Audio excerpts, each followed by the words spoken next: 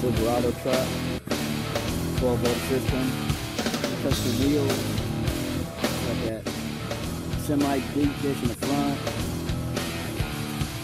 got that deep dish in the back, got that red Ferrari bed liner, painted uh, factory uh, color of the Silverado, customer ordered that, USA mag, deep dish, semi dish in front. Matching steering wheel, all interior.